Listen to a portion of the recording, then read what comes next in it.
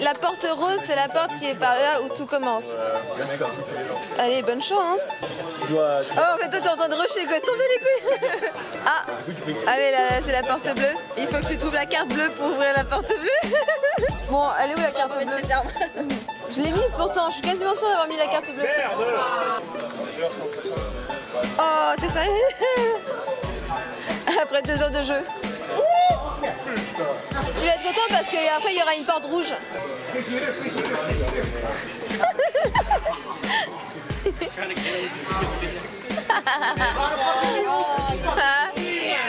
T'as plus de balles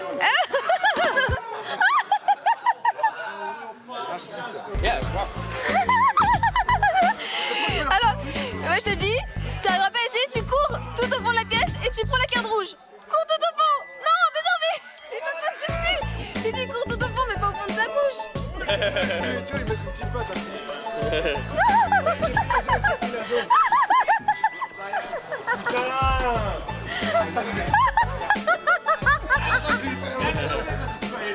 Eh, t'en as bougé 3 déjà, il en reste 15. Exit. Ah, ça sent le. Ah, toi, tu les passes, t'en vas les couilles. T'as un HP Là, je recommence tout. Ah, tu regardes, tu vois, t'as bien, bien peut-être pété son bouclier. Il est rouge. Ah bah. Ouais, c'est bientôt la fin.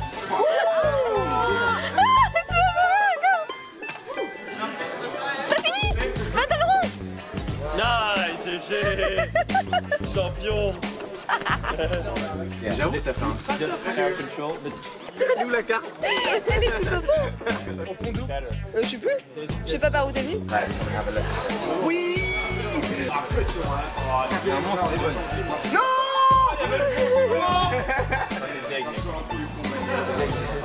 On lui dit ou pas Oh là là.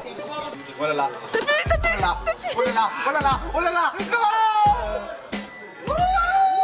La carte, elle est tout au fond de la pièce. Jusqu'au au début. Oh Mais non, mais non, mais tu l'as menti Recule, recule, recule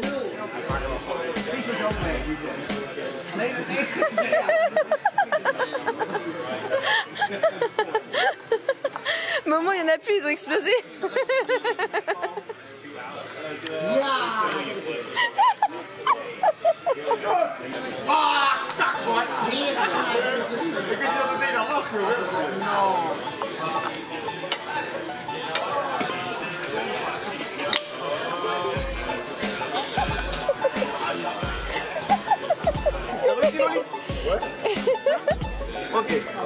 T'es à 8 HP, hein.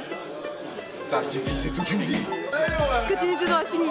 Viens toucher Fini, il n'y a, y a plus rien, il n'y a plus rien. Viens toucher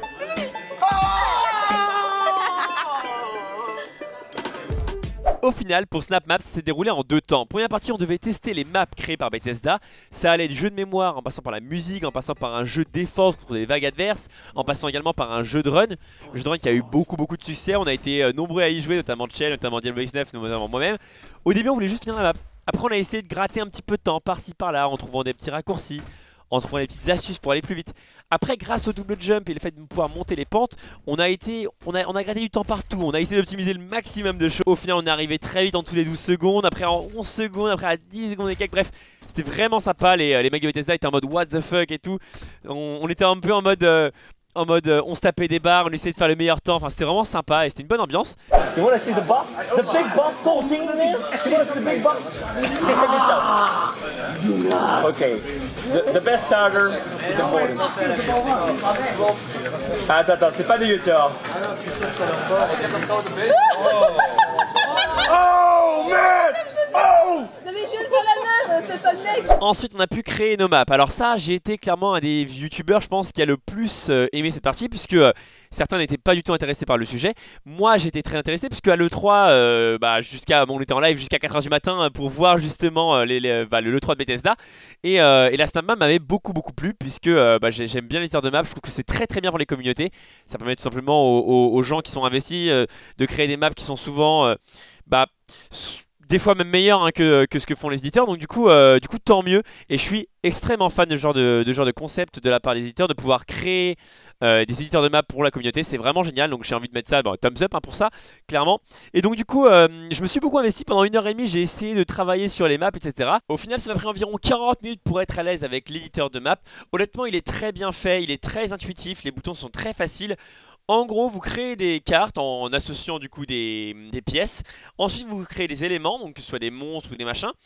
Ensuite, vous associez les relations logiques. Et c'est là où c'est très intéressant, c'est que vous pouvez du coup créer énormément de choses. Vous pouvez lier du coup un objet à un autre. Quand par exemple la porte s'ouvre, des, objets ou des monstres vont apparaître. Le monde peut vraiment évoluer au fur et à mesure de la progression du joueur et c'est vraiment vraiment vraiment très facile à mettre en place. On peut évidemment jouer avec les valeurs, des valeurs des monstres, etc. Mais en même temps, on peut vraiment aller très loin dans les réactions logiques. On peut du coup imaginer euh, ben, un, circuit de caméra. J'ai choisi du coup moi de créer un death run, c'est-à-dire que du coup 4 euh, joueurs qui commencent d'un côté et un autre de l'autre qui du coup avec des caméras puis peut observer du coup ses collègues et faire exploser des, euh, bah, des pièges par rapport à des hockey. Par exemple, quand le mec il saute, il va faire exploser du coup ça, il va faire exploser ça, etc. Quand les joueurs passent un certain euh, point, du coup, ça faisait apparaître des tonneaux qui étaient en l'air, qu'ils ne pouvaient pas voir. Du coup, les joueurs pouvaient se tuer entre eux, etc. Donc, vraiment, c'était euh, très très intéressant comme expérience parce que du coup, j'ai eu l'occasion du coup de pouvoir créer une map en, une heure et demie euh, qui était utilisable. Après, malheureusement, il n'y avait que 3, euh, pièges, donc c'était pas non plus, enfin 3 zones, on va dire.